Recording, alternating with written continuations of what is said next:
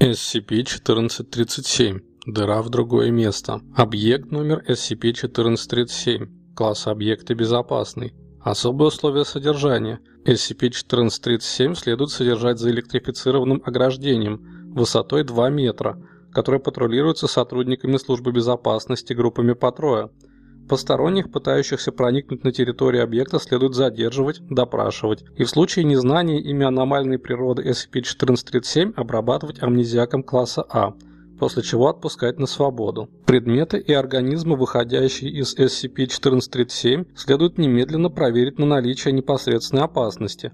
В случае безопасности предметов допускается дальнейшее исследование – Категорически запрещается проводить эксперименты с самим SCP-1437. Описание. SCP-1437 выглядит как бездонное отверстие в земле размером 3 на 3 метра, расположенное в пустыне при попытке прокопать боковой проход к SCP-1437 проходчики натыкались на твердый камень в расчетном месте контакта – Таким образом, само отверстие в Земле является единственным возможным путем попадания в объект. Судя по свойствам объекта, он является точкой перехода в неизвестное на сегодняшний день число параллельных вселенных. Периодически из SCP-1437 на большой скорости появляются различные предметы, такие как одна 25-центовая монета США, первый известный случай появления предмета, большое количество камней и грунта – считается попыткой группы установления содержания из параллельной вселенной засыпать вход в SCP-1437 со своей стороны. Карта Северной Америки с пометками на испанском.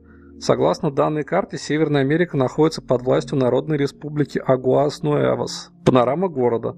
Судя по виду, радикально отличающегося от нашей версии Нью-Йорка, видны сооружения, напоминающие по форме кораллы, а вдали виден огромный летающий организм. Несколько дисков из чистого золота. К дискам был приложен лист бумаги с надписью «Молим о неспослании дождя». В период по 2000 по 2015 из SCP-1437 выпало несколько субъектов, по большей части одетых в униформу сотрудников класса D. На момент появления все они были мертвы. У каждого из них были при себе документы, судя по всему являющиеся документацией на SCP-1437 из соответствующей вселенной. Считается, что данные сотрудники класса D вместе с документами были отправлены в знак готовности к сотрудничеству. Извлеченный документ 1437-1. Субъект, сопровождавший документ перед смертью, был в хорошем состоянии здоровья. Он был один в скафандр с замкнутой системой дыхания и кислородными баллонами. Объект номер SCP-1437. Степень опасности общественно безопасный. Техника безопасности. Посторонним гражданам следует соблюдать безопасную дистанцию от SCP-1437. Санкционированные экскурсии к объекту проводятся в сопровождении двух офицеров охраны в целях безопасности зрителей. Фотосъемка разрешена. При попытке перелезть за ограждение нарушителя следует задержать и передавать силам охраны правопорядка. SCP-1437 представляет собой яму размером 10 на 10 метров, без определенной глубины, расположенную в городе Промис. Попытки сделать подкоп в SCP-1437 со стороны натолкнулись на твердый камень в предполагаемом месте расположения SCP-1437. Таким образом, само отверстие в земле является единственным возможным путем попадания в объект. Судя по свойствам объекта, он является точкой перехода в неизвестное на сегодняшний день число параллельных вселенных. Периодически из SCP-1437 на большой скорости поверхности появляются различные предметы, такие как небольшая бетонная пирамидка. Первый известный случай появления предмета считается строительным материалом. Большое количество камней и грунта считается попыткой группы по безопасности труда из параллельной вселенной засыпать вход в SCP-1437 со своей стороны. Картина с изображением пейзажа судя по всему, находящегося в Шотландии. В изображенной на картине параллельной вселенной солнце голубого цвета, а небо желтого. Несколько дисков из чистого золота. К дискам был прикреплен лист бумаги с надписью «Молим об избавлении от чумы». Фотографии нескольких ученых. У всех изображенных на фотографии ученых очень длинные пальцы, примерно в 25 сантиметров в длину. Лист бумаги. Благодарим, пришлите еще подарков. В период с 2009 по 2012 из SCP-1437 выпало несколько человек, большинство из которых были одеты в ярко-оранжевые робы. На момент появления все они были мертвы. У каждого из них были при себе документы, судя по всему, являющиеся документацией на SCP-1437 из соответствующей вселенной. Считается, что все эти люди вместе с документацией были отправлены в знак готовности к сотрудничеству. 15 августа 2012 года сотрудник фонда Марко Петрон добровольно вызвался погрузиться в SCP-1437 в защитном костюме из копии данного документа. Извлеченный документ 1437-2. Субъект, сопровождавший документ перед смертью, был в хорошем состоянии здоровья. На левом предмечье субъекта было выжжено клеймо, собственность корпорации SCP. Инвентарный номер SCP-1437. Уровень угрозы малый, особые условия содержания. SCP-1437 следует содержать за электрифицированным забором ограждением высотой 2 метра, которое патрулируется с сотрудниками службы безопасности группами по трое. Посторонних, пытающихся проникнуть на территорию SCP-1437, следует задерживать по обвинению в промышленном шпионаже. Предметы и организмы, выходящие из SCP-1437, следует немедленно проверять на наличие непосредственной опасности. В случае безопасности предметов проводятся дальнейшие исследования. По результатам исследований подходящие предметы выставляются на аукцион для продажи заинтересованным лицам. Описание. SCP-1437, не имеющая определенной глубины, яма 1 на 1 метр, расположенная в малонаселенном районе. При попытке прокопать боковой проход к SCP-1437, проходчики натыкались на твердый камень в расчетном месте контакта. Таким образом, само отверстие в Земле является единственным возможным путем попадания в объект. Судя по свойствам объекта, он является точкой перехода в неизвестное на сегодняшний день количество параллельных вселенных. Периодически из SCP-1437 на большой скорости появляются различные предметы, такие как Статуя, похожая на рептилию существа со множеством глаз и хвостов. Первый известный случай появления предмета. Большое количество камней и грунта. Считается попыткой группировки установления содержания с параллельной вселенной засыпать вход в SCP-1437 с своей стороны. Стеклянная бутылка, наполненная водой. Бедренная кость человека, покрытая слюной. Куб, состоящий из нескольких кубов меньшего размера и разного цвета. Предназначение не установлено. Футбольный мяч уменьшав всего 5 граней. В период между 2001 и 2013 из SCP-1437 выпало несколько субъектов, по большей части одетых в униформу сотрудников класса D. На момент появления все они были мертвы. Тот факт, что переход через SCP-1437 связан с летальным исходом, делает коммерческую эксплуатацию 1437 невозможной. У каждого из вышеупомянутых субъектов были при себе документы, судя по всему, являющиеся документами на SCP-1437 из соответствующей вселенной. Считается, что данные сотрудники класса D вместе с документацией были отправлены в знак готовности к сотрудничеству. В SCP-1437 было отправлено несколько сотрудников класса D с копиями данного документа. Извлеченный документ 1437-3. Субъект, сопровождавший документ, был замотан в бинты и ослеплен, судя по всему, недавно. На руках и ногах субъекта были множественные порезы, язык был отрезан. Номер вещи 1437.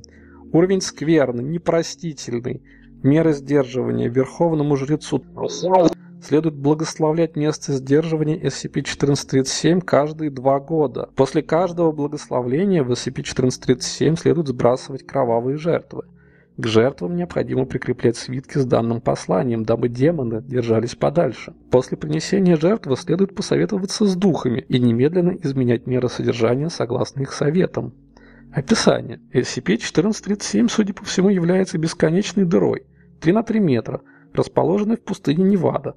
При попытке прокопать боковой проход к SCP-1437 проходчики натыкались на твердый камень, в расчетном месте контакта. Таким образом, само отверстие в Земле является единственным возможным путем попадания в объект. Судя по свойствам объекта, он является порталом в Нижний мир. Периодически из SCP-1437 на большой скорости появляются различные предметы, такие как несколько дисков из чистого золота.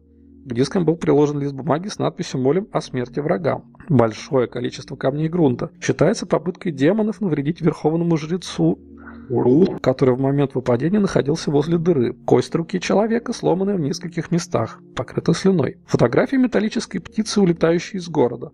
За птицей растет нечто похожее на огромный гриб. Считается попыткой демонов насмехаться над нами. Человеческий глаз, который шевелится при прикосновении – Считается демоном низшего порядка, был незамедлительно сожжен. Период с 2000 по 2000 из дыры выпали мертвые демоны в человеческом обличье. Их трупы были заброшены обратно, после чего верховный жрец благословил дыру заново. Извлеченный документ номер 14374. Субъект, сопровождавший документ, был в периобетатном возрасте и крайне истощен, а также незадолго до перехода перенес лоботомию. Объект номер SCP-1437. Класс объекта безопасный. Особые условия содержания. SCP-1437 37 следует содержать за электрифицированным ограждением высотой в 2 метра, которое патрулируется сотрудниками службы безопасности группами по трое. Посторонних, пытающихся проникнуть на территорию объекта, следует доставлять перед очи верховных владык для углубленного допроса. Предметы организма, выходящие из SCP-1437, следует немедленно проверять на наличие непосредственной опасности. В случае безопасности предметов проводятся дальнейшие исследования. Все полезные образцы и технологии, появляющиеся из SCP-1437, следует немедленно доставлять перед очи верховных владык. SCP-1437, по-видимому, является бездонной ямой размером расположенный в зоне 29 бразильского сектора. При попытке прокопать боковой проход к SCP-1437 проходчики натыкались на твердый камень в расчетном месте контакта. Таким образом, само отверстие в Земле является единственным возможным путем попадания в объект. Объект 1437, судя по всему, является точкой доступа в неизвестное на сегодняшний день число параллельных вселенных. Периодически из SCP-1437 на большой скорости появляются различные предметы, ориентировочно являющиеся подношением для верховных владык, такие как один алмаз, первый известный подарок, доставлен перед очами верховных владык, большое количество камней грунта, предназначение неизвестно. Кора вымершего вида Кварис Баклей предоставлен перед очи верховных владык. Нижняя половина человеческого тела доставлен в руки начальствующего слуги верховных владык. Неизвестно, каким образом отправитель подарка узнал о пищевых предпочтениях верховных владык. В SCP-1437 был сброшен документ с благодарностью отправителя подарка и запросом о новой дани для верховных владык. Бутылка вина, предназначенного для людей – Смотреть инцидент 1437.1. Инцидент 1437.1. Из SCP-1437 выпала бутылка вина, предназначенная для людей. Распознав в этом попытку покушения на убийство верховных владык, начальствующий слуга приказал сбросить в SCP-1437 взрывное устройство Дон Бёртон. Его приказ был выполнен, угроза считается нейтрализованной. Это пример того, почему нам следует неукоснительно соблюдать условия содержания. Отныне налагаю запрет на изъятие этих подношений из содержания. Они являются прямой угрозой нашим верховным владыкам. 05-1 Примечание. Согласно имеющейся теории, в момент перехода между вселенными SCP-1437 убивают все живые организмы. Второе. Кварикус буклей, дуб техасский красный.